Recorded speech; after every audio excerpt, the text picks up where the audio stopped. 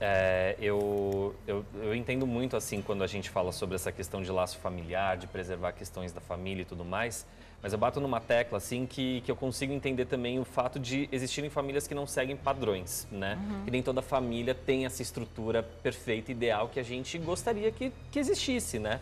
É, e aí eu também fico pensando que como a Larissa Manoela é um caso inédito no Brasil de estrela mirim que conquista uma fortuna e, e, a gente esteja acompanhando dessa maneira, é. é só a gente fazer um paralelo com casos que aconteceram lá fora, né? Whitney Houston, por exemplo, que foi descobrir que o pai dela roubava ela assim quando ele estava no leito da morte. E o cara foi retratado no filme, na cinebiografia dela, da maneira como precisava, né?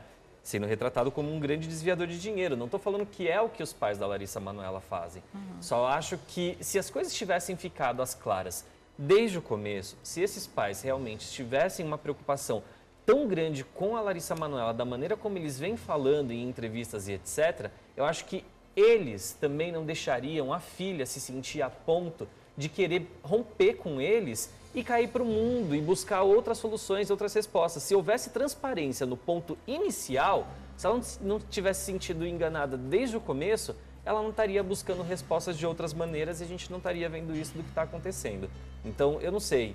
Eu olho para a Silvana e vejo um um pouco de teatro, não vejo ah, muita mas emoção. Mas engraçado, eu olhei para a entrevista da Larissa no Fantástico, eu também vi Você muito de teatro. A gente é comentou é atriz, isso né? aqui, né? Tinha pausas dramáticas, a gente até falou. Acabaram ela quer, com a gente. É, ela quer, até agora, você vai ver o que vem daqui para frente. Também amigo a mínima. todo mundo de umbigo, ó, esparadrapo hoje, viu? Nem vem, gente. A gente até comentou, eu lembro que a gente falou que ela estava tentando né, passar a mensagem dela para o público mais pela emoção do que pela Sim. informação, uhum. porque tinha uma coisa ali também de orientação, também de estratégia, para que a imagem dela não ficasse de filha malvada, ingrata e pudesse vir a prejudicar a carreira, mesmo porque naquela altura ela já é, já estava cotada como continua para um dos principais papéis da novela Renascer da própria Rede Globo de televisão.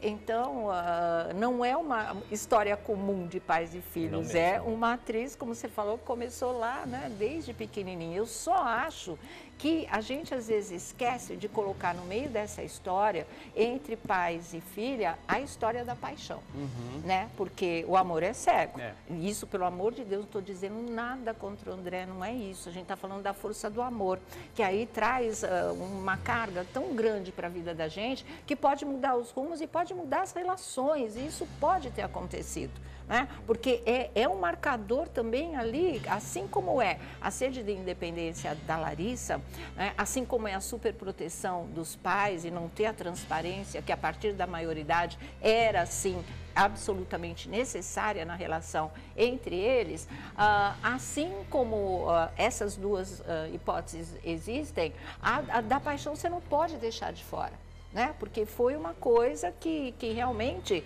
é um dos gatilhos dessa situação. É. Ela abdicou dos pais uhum. por conta do, do, Exatamente, do relacionamento, como né? a gente falou aqui também. Ela trocou a tutela. Né? Eu acho Pelo que também que os parece. pais metem os pés pelas mãos por essa paixão excessiva pela filha sim, também. Sim, ainda mais filha sim. única. Exato.